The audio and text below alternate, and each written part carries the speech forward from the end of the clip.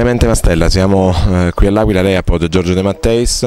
eh, dicevamo poco fa, dicevano, dicevamo in Mosurur, eh, non si è fatto niente all'Aquila, lei è convinto, e questa è la sua, la sua impressione? Ma guardi, eh, mi pare che non è che sia soltanto questa la mia impressione, la fotografia di queste impressioni, il che significa un dato reale. Accampare diciamo, ogni volta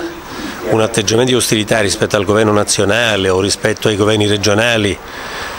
eh, e anziché guidare il processo ricostruttivo francamente mi pare che sia un modo spiazzante per realizzare cose che andavano realizzate. Non è che andavano soltanto segnalate l'inadempienza altrui, andava invece segnalato la capacità ricostruttiva dell'amministrazione che non c'è stata, c'è questa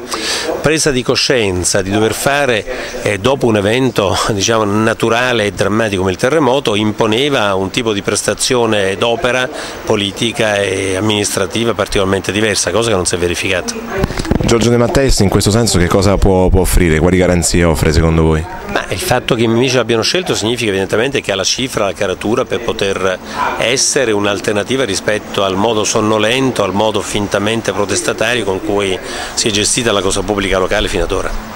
Senta, il governo Monti eh, a suo modo di vedere come si sta comportando, anche se eh, obiettivamente è poco tempo, ma nei confronti di questa tragedia e di, di queste esigenze che, che, ci sono all'Aquila, come si sta comportando rispetto al, al precedente governo?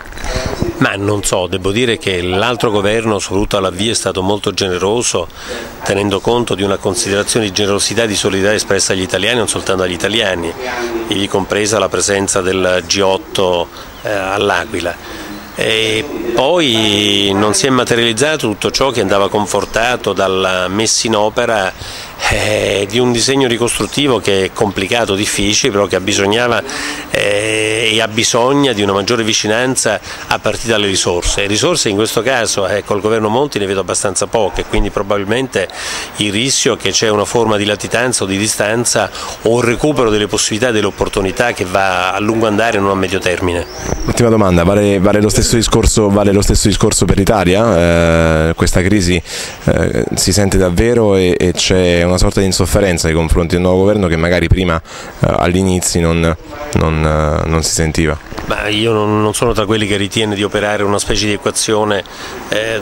da quello che fa il governo non fa il governo, ma certamente il fatto che sono eh, piccoli mediatori che si suicidano, famiglie che non riescono ad andare avanti, testimonia uno stato di salute diciamo, abbastanza drammatica del, del, del Paese, eh, con la famiglia italiana che regge a fatica, in alcuni casi non regge e arriva fino anche alla esplosione eh, di una collera che apparentemente è con se stessa, che mette in discussione il mondo intero che è di fronte a lui,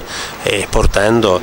a, diciamo, a gesti che sono gesti eh, non spiegabili, forse capibili in parte, ma insomma gesti disperati.